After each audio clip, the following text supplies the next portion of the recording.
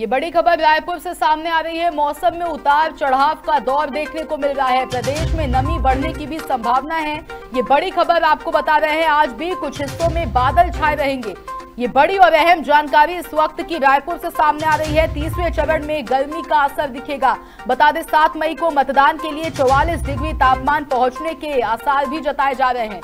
ये बड़ी खबर सामने आ रही है, जहाँ रायपुर में मौसम में उतार चढ़ाव का दौर लगातार जारी है। प्रदेश में नमी बढ़ने की भी संभावना जताई जा रही है। साथ ही आपको बता दें कि आज भी कुछ हिस्सों में बादल छाए रहेंगे और तीसरे चरण में गर्मी का असर देखने को मिल सकता है।